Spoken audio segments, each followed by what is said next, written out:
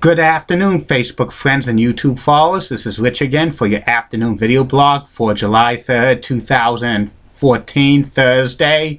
It's around 5 p.m. in Billerica, uh, Massachusetts. The skies are threatening. Going to be a lot of thunder showers and boomers and lightning and heavy downpours, so stay covered. These showers and thunderstorms are not associated with the Hurricane Arthur at all. It's just pop-up showers because of the heat and humidity. And we're going to get a lot of downpours tomorrow, heavy rain, a lot of 4th of July festivities have been canceled, including the one in Billerica, Massachusetts. The affordable 4th of July celebration at Billerica Center, run by the Billerica Lions Club, which was a you could have bought a hot dog, a drink, and an American flag for one dollar, but that's gone because of the impending effects of Hurricane Arthur.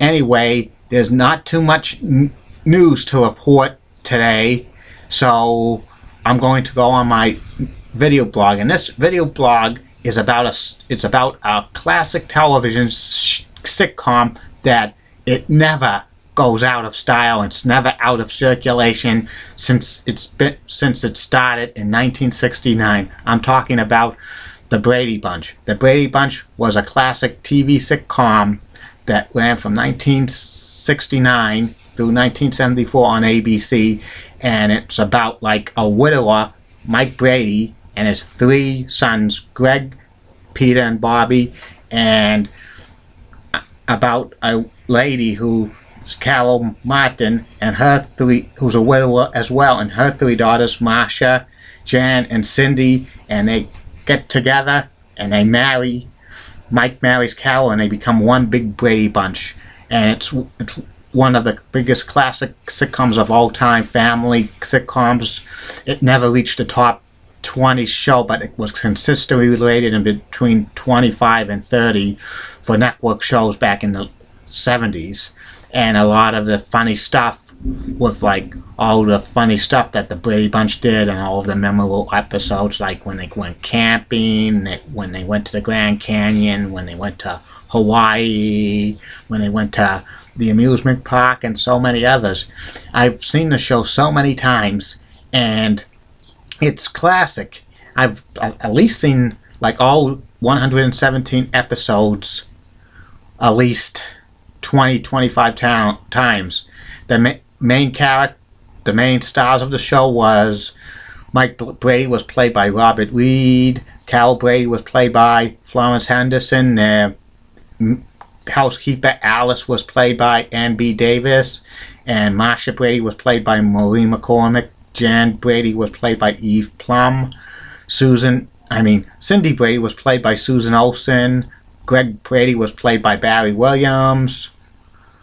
Peter Brady was played by Christopher Knight, and Bobby Brady was played by Mike Luke Lan.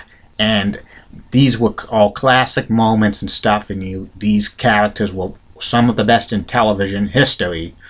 The Brady Bunch ended in 1974 because the opposition uh, they were facing was a hit tele was Sanford and Son on NBC, and they crushed the ratings. And to, to try to get the audience back, they had cousin Oliver for the final few episodes, but it didn't work. And the last episode of the Brady Bunch was when Bobby became a sales, tried to become a salesman, and he tried to sell Greg hair tonic, and he he he sold him a hair tonic, and Greg's hair became orange, and it was so so funny, and you know, it was very funny, but like the main star of the show, Robert Reed, thought it was not was ridiculous, so he he sat out the last show. If the Brady Bunch became was renewed for a sixth season, the producers of the show Sherwood Schwartz was gonna either kill him off or they were gonna have like Carol's long lost husband, presumably dead, come back, but that, that that never came to be because Paramount Television canceled the Brady Bunch, but the Brady Bunch lives on, and they had so many sequels to the show, like in 1976, a Variety Hour, produced by Sid and Marth, Marty Krofft,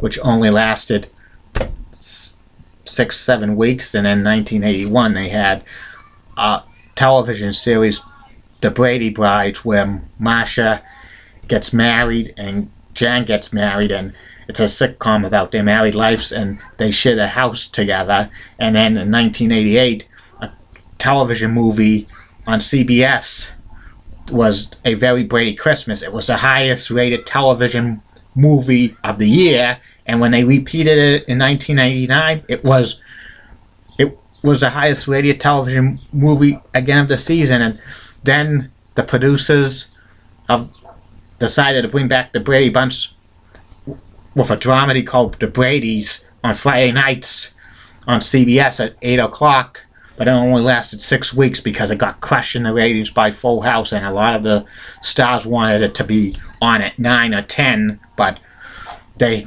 CBS still ran Dallas and Knots Landing, and they weren't going to put them on hiatus or like show them at an early hour because they knew those shows would get crushed by Full House, and that was the last Brady series ever. But they had movies versions of the Brady Bunch in 1995 a Brady Bunch movie, which was a big hit, and then the next year, 1996, a very Brady sequel, which flopped, and then they had a made-for-TV movie in 2002 on Fox called The Brady Bunch Goes to the White House, but that tanked in the ratings, and it hasn't been a, like a Brady Bunch project since. But you know, the reruns still live on in MeTV, TV TV Land, and other television networks. It's one series that never ever goes out of style, and a lot of people love it to this day. And uh, I have all five seasons of the Brady Bunch on DVD and stuff like that. I could some of the famous quotes is "Marcia, Marcia, Marcia," and stuff like that. It will never go out of style, folks.